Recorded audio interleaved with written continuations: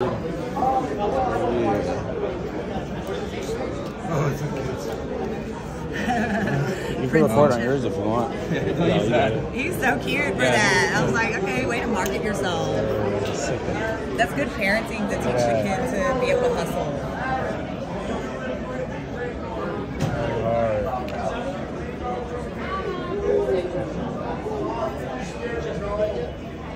Oh, there's Mark Henry. Yeah, he just got. He just walked in.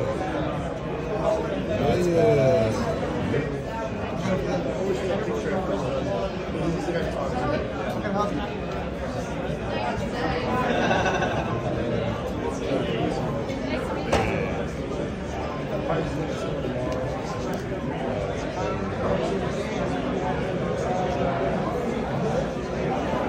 Yes, sir. That's fine. You're the man, bro. Cool, cool, man. Appreciate All it. right, cool, cool. Appreciate you.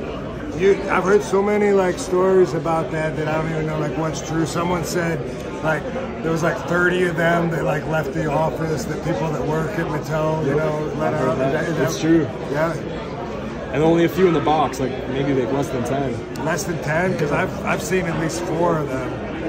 So it's I guess uh, you know just from this people having me sign them. I guess I've seen almost half of them. If, if that's true, whatever the it's like mythological now, you know. like- I love this Someone snuck attire. 'em out. Like, I, s- I saw the slider like when I was eight years old. Team ECW. So Yeah, yeah, it means wow. a lot. It's sentimental. WrestleMania 22, right?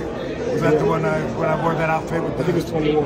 21? Yeah. Okay. Uh, yeah, I get it mixed up. But, but like the white outfits, I can't wear too many times because it just gets dirty and shows. And so I saw the sweat, man. Gracias.